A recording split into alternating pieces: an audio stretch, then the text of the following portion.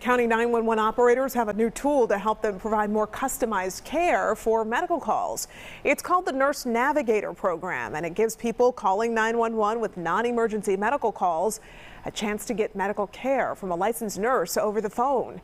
Fox 5's Lindsay Tuchman got an inside look at how the new service is working out.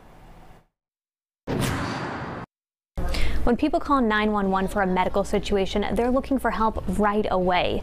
With the Nurse Navigator system, they're able to get help tailored to their needs, which in turn will help with ambulance response times and ER wait times. I'm going to have you speak with a nurse to obtain the best care for you. Just stand on line for me, okay? Thank you very much. Every day, Henry County dispatchers field around 1,300 calls. Our job is to make sure that we, you know, respond most appropriately and be able to intervene and help out with that emergency event. Jonathan Burnett is the fire chief and EMA director for Henry County.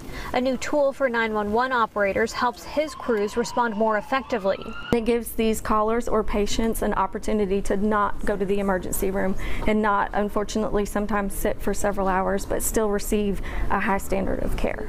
Carrie Gonzalez is the professional standards coordinator for Henry County 911. Dispatchers ask a series of triage questions to determine what kind of care a caller needs, while life-threatening situations like stabbings or a heart attack get an ambulance dispatched immediately.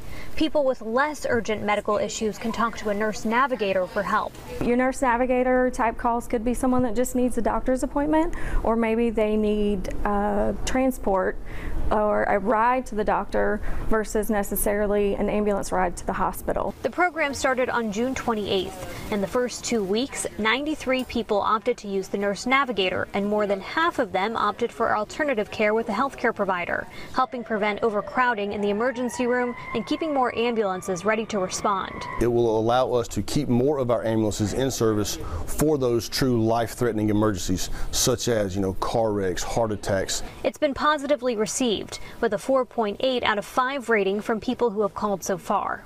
It's always up to the caller whether or not they want to use the nurse navigator system. First responders say they'll always have an ambulance ready if someone requests one, but they hope more people who know about the program, the more people will opt in to use it as well. Reporting in Henry County, I'm Lindsay Tuchman for Fox 5 News.